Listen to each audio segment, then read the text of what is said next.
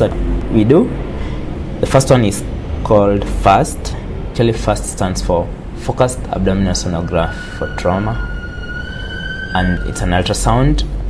Every practitioner of uh, ATLS should learn uh, how to do a FAST. It would be advisable if you have the ultrasound available. With experience, we'll be able to do better diagnosis.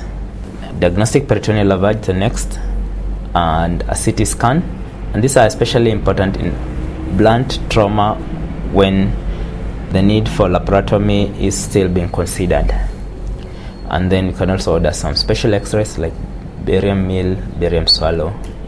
And we also do blood tests, complete blood count, urea electrolytes, serum amylase, coagulation screen, and very important to do also grouping and cross match, and any other indicated tests. Sometimes in some centers, when available, we can do laparoscopy to evaluate any, any injuries further. Focused abdominal sonogram for trauma checks for free fluid in the abdomen. This is the kind of ultrasound that we would see if there is fluid in the Morrison's pouch, for example, which is a common site of fluid pooling in a patient with supine with the abdominal injury. What are the indications for DPL? And usually this is done in blunt trauma. We can do this if ultrasound is not available or CT scan is not available. We can do it in head injury when we want to evaluate the abdomen in a patient who can't elicit uh, peritoneal signs, and in a patient who is intoxicated, patient with spinal in, spinal cord injury, patient with injury to the lower spine or the ribs, and if a patient is going to have extensive X-ray tests or CT scan or going for general anesthesia for another injury, we may need to do DPL to rule out abdominal injury before the patient goes on because that will take more time. A positive DPL is if we aspirate gross blood or GI contents, and this blood, if we aspirate about 10 mils of blood, if uh, we after instilling one liter of uh, lactated Ringer's or normal saline, if we get GI contents in the aspirate, or if we get bile or vegetable fiber, all suggestive of abdominal injury. If we don't, then we can take the aspirate to the lab, and if we get 10,000 red blood cells per mil, that's a positive DPL, and if we get 500 WBCs per mil, also positive DPL. In a patient in whom we're going to do a laparotomy, there's no point of wasting time on a DPL, and DPL is relatively contraindicated in patients with previous abdominal operation because of likelihood of uh, adhesions and therefore increases the possibility of gut injury. Patients with morbid obesity, for the same reason, it's uh, much more difficult to do DPL. Patients with advanced cirrhosis, these patients might also have uh. The DPL may give uh, confusing signs. And uh, patients with a pre-existing coagulopathy, because we don't want to start them bleeding. CT scan is normally done on patients who are hemodynamically normal and uh, in whom we suspect a specific organ injury or want to evaluate for specific organ injury, especially if these injuries are retroperitoneal or pelvic.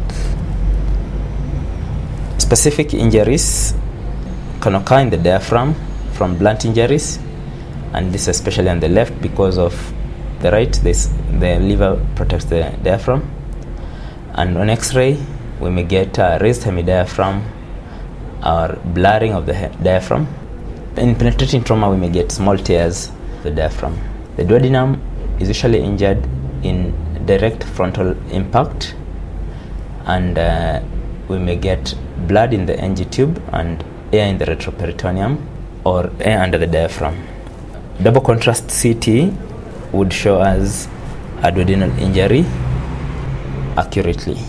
The pancreas can also be injured in direct blows, the same that would also injure the duodenum, and commonly it's because of the pancreas being compressed against the vertebral column, and we have persistently high or rising serum amylase.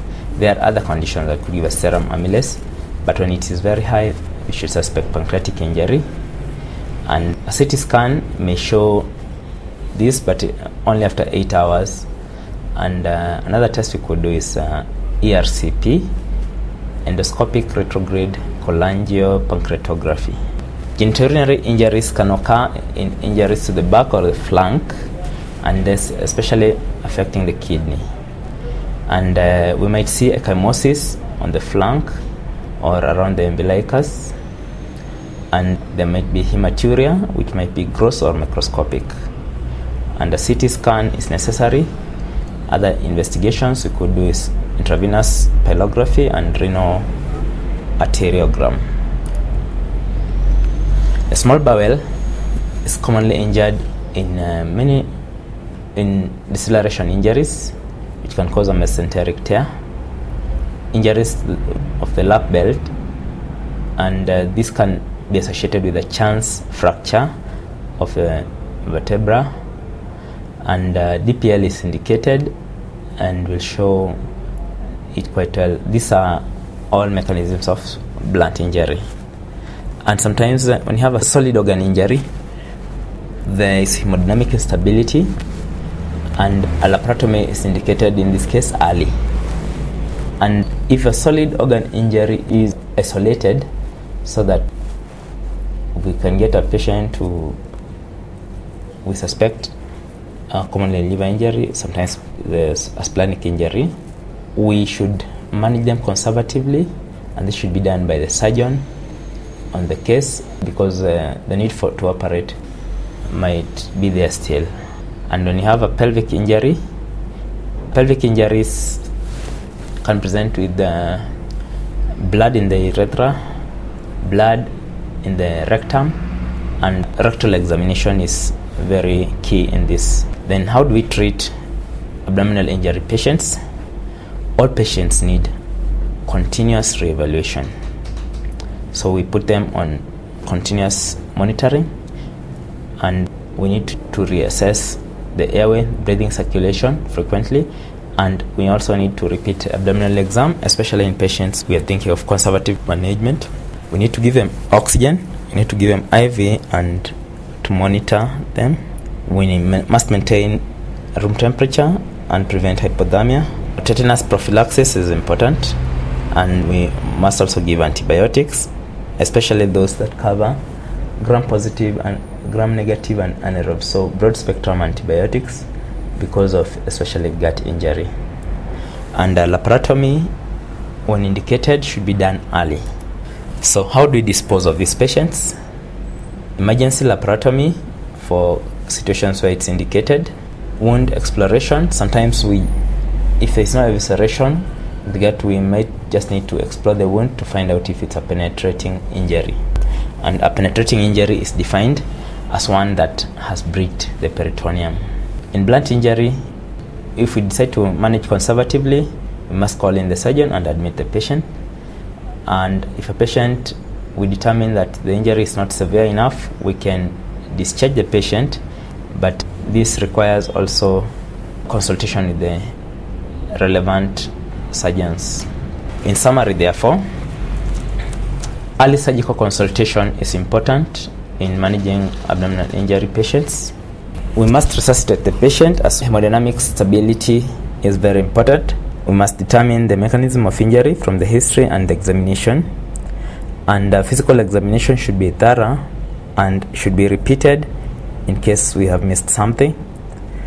And uh, investigations, usually time saving. Then if you have an occult injury the only way we'll find out is by having a high index of suspicion.